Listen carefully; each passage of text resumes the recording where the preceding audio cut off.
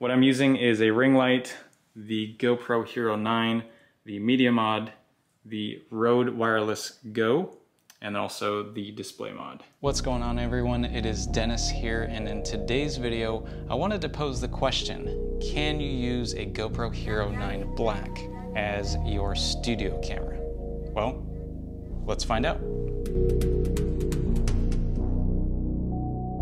What's going on everyone? Like I said in the introduction, we're gonna see if we can use the GoPro Hero 9 Black as a studio camera. I guess you could just use the GoPro Hero 9 Black on its own, but I'm gonna make some tweaks to it and add some accessories to it to get it up to that studio level quality. What I'm currently recording on right now is the Sony ZV-1. I love this camera to death, but I just recently picked up the GoPro Hero 9 and it's a beast of a camera. I wanted to see if I could actually use it as a studio camera. If you're someone that is using the Hero 9 for uh, action stuff or vlogging stuff, this video might help you out to see if you can get it to look like a studio camera. Let's go over some of the accessories I'm gonna use to get this to a studio level recording. Pop open the side here, take the door off, throw the Hero 9 into the Media Mod. And the reason why I'm doing this is because I want to be able to hook up a microphone to the GoPro Hero 9. Snap this sucker shut. Now the Media Mod has its own built-in directional shotgun microphone. Uh, you can get good audio quality either from the front or the back, but I want to use a microphone like this, which is the Rode Wireless Go. So I'm gonna be able to utilize the 3.5 millimeter microphone jack and that's what we're gonna utilize to throw on the microphone. Okay, so I had to switch out the microphone. So now I'm recording with the Rode Video Micro on the ZV-1. We're gonna take the GoPro Hero 9 in the Media Mod, take the receiver of the Rode Wireless Go, throw that into the cold shoe, take our Rode Wireless Go plug, plug it into the receiver of the Rode Wireless Go, plug this bad boy into the microphone jack. Cool. Take our wireless transmitter of the Rode Wireless Go, or the microphone, it's got a built-in microphone there, clip it on to my shirt. Cool. Okay, so what I'm actually gonna do now is swap the cameras around. So we were recording on the Sony ZV-1. Now let's throw the GoPro Hero 9 in the media mod with the Rode Wireless Go in its place and let's see how these turn out. All right, so we are now in the GoPro Hero 9 Black. How do we look? Now this is what we were shooting on. This is the Sony ZV-1 uh, with the Rode Video Micro and I switched out the microphone just so I could uh, set up the mic with this.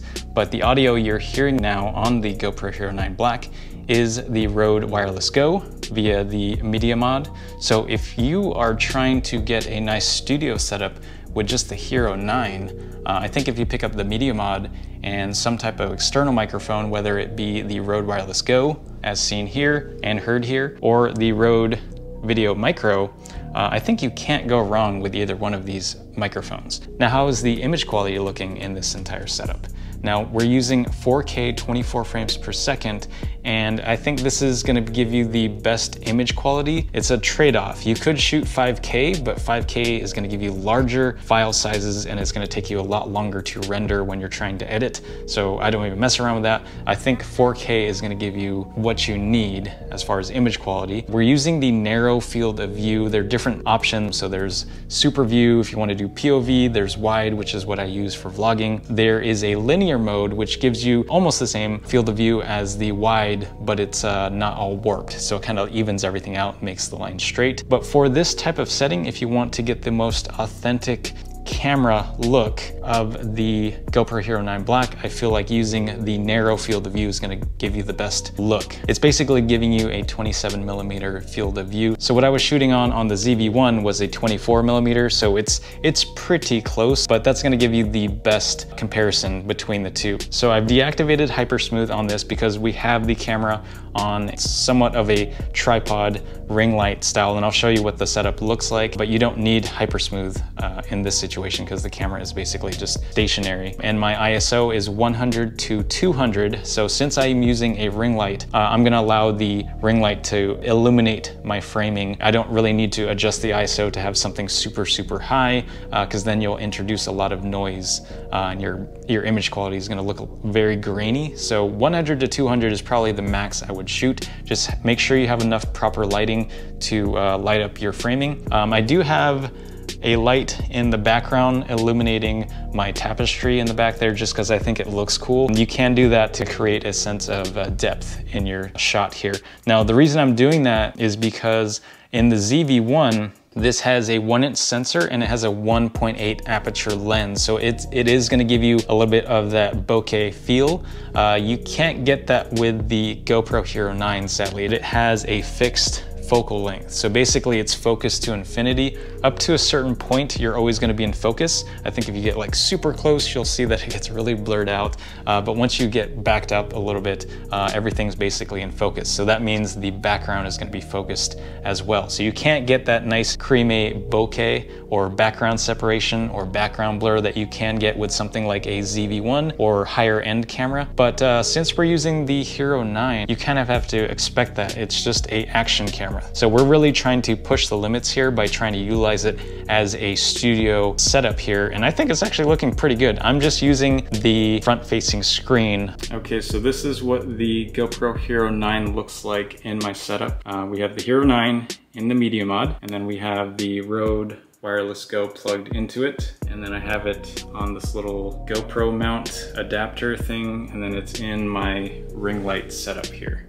Now there is something that I would like to add to this setup. I don't think it's mandatory, but I feel like it'll kind of improve on the overall feel of the Hero 9 being a studio camera. So inside here is the GoPro display mod. Now this is a attachment that you can utilize with the Media Mod and it basically just sits on top of the hot shoe or cold shoe, plugs into the Media Mod and gives you a nice forward facing display.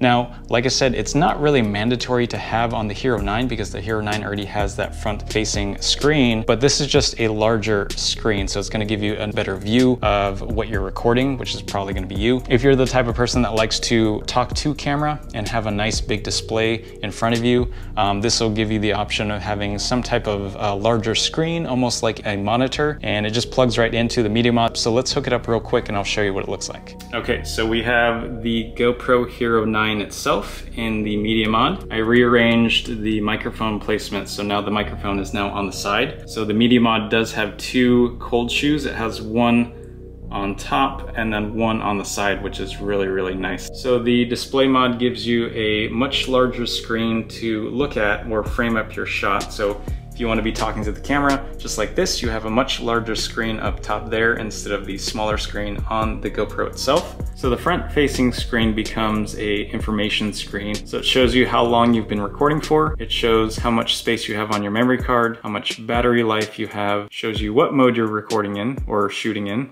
and then also what preset you've used. Mine I decided to call cinematic. It shows you your resolution, frame rate, and a field of view. All right, so this is what you can expect your footage to look like if you use the GoPro Hero 9 Black as a studio camera. I think I have an overall pretty decent setup with the Hero 9, the Media Mod, the Rode Wireless Go, and also the display mod. I think it gives you that nice studio type feel. It just looks pretty professional for being a Hero 9. I think thankfully because of that media mod, you can actually add a bunch of different accessories and hook up a bunch of different stuff that really steps up the level of video quality and audio quality that you're getting out of the Hero 9. Now keep in mind that the Hero 9 is not gonna be as good as something like the ZV-1 or the more expensive cameras out there because those cameras are working with larger sensors and faster lenses when compared to the Hero 9.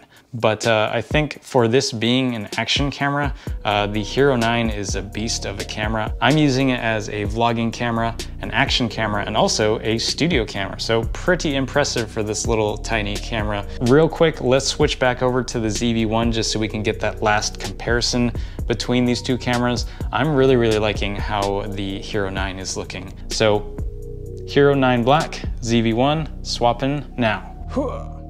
All right, so there you have it guys, a nice setup for the GoPro Hero 9 Black if you plan on using it as a studio camera. Now I keep swapping the microphones and I'm sorry about that because I just prefer to be using the Rode Wireless Go, but uh, you could use same setup, just use the Rode Video Micro. This is an amazing shotgun microphone.